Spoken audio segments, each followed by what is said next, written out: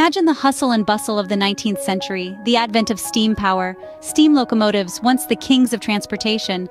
But how did these iron beasts work? Picture a pot of water on a stove. As the heat rises, water transforms into steam, building pressure. That's the basis of steam locomotive engines. Coal or wood burn in the firebox, heating water in the boiler above. The pressure from the steam pushes pistons, which move the driving wheels.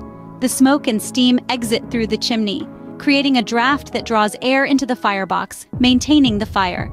It's a cycle of conversion, from heat to steam, pressure to mechanical motion. The steam locomotive, a marvel of engineering, harnessing the power of nature to move mountains, steam locomotives, a testament to human ingenuity, a symbol of progress, a piece of history that continues to fascinate us, steam power, the driving force of the Industrial Revolution.